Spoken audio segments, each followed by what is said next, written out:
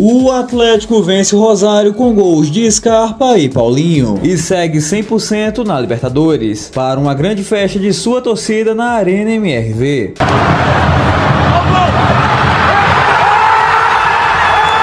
O Atlético Mineiro disputou um jogo de Libertadores pela primeira vez na Arena MRV e conquistou uma boa vitória, com Gustavo Scarpa abrindo o placar e Paulinho marcando o segundo gol. Nas arquibancadas tivemos uma grande festa da torcida do Galo, que lotou a arena para ver o show do time na Libertadores. E veremos toda a festa e as reações aos gols no vídeo de hoje. Então já peço que você vá aqui embaixo e deixe o like no vídeo e aperte o botão vermelho para se inscrever no canal. É rápido e de graça e eu sei que você vai curtir esse vídeo. E agora sim confere só toda a festa.